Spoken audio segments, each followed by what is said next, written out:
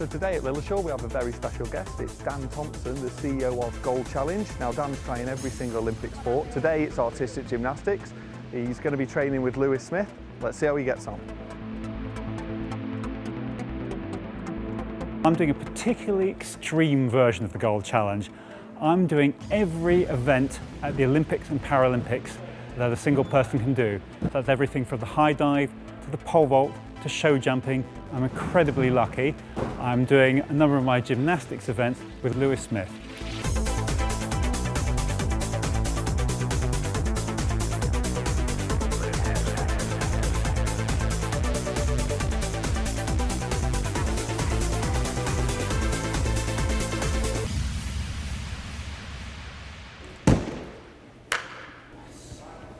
That's your basic warm-up, is it?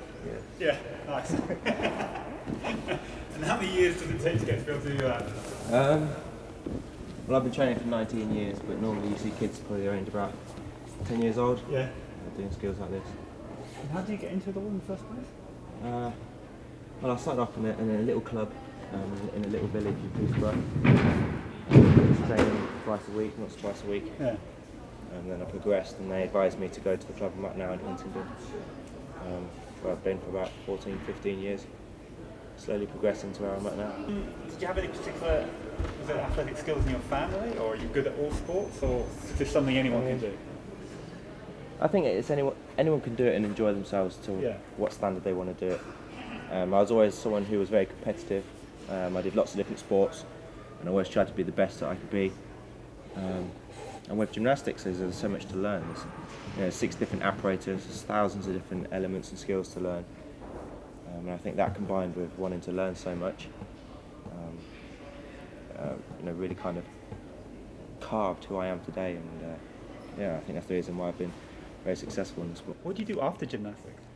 Well, at the minute, I just try and chill out. Um, obviously, if I've got competitions coming up, then uh, you're quite limited on what you can do with your spare time. Yeah. But when I'm not doing media work and appearances, um, I'm normally just relaxing with my friends.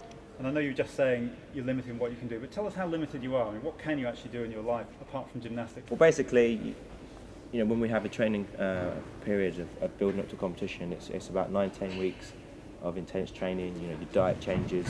Um, you, know, you don't have late nights. You can't go out and have a drink with your friends. And you know, if it's your birthday weekend coming up, you've got to be smart. You know, most of the time I'm away on my birthdays, and you know, when I, was, I had a girlfriend, and you're, you know, you're away on Valentine's Day, and all these different sacrifices. And and when you get older, you start to realise more what goes into it. So it's not just me having to sacrifice nights out or whatever. You know, my mum for a good part of 12, 13 years um, took me to and from gym, um, sacrificed her time. Um, my coach sacrifices his time with his family to come away with me to competitions. You know, so um, there's a lot that goes into it behind the scenes. You really start to appreciate as you get older. Looking forward to the pressure at the London Olympics? The experience will be unbelievable. And the Olympic Games in London, I'm sure it's just going to completely transform uh, Britain as a nation. But uh, for me, um, going there and competing is just nerve wracking.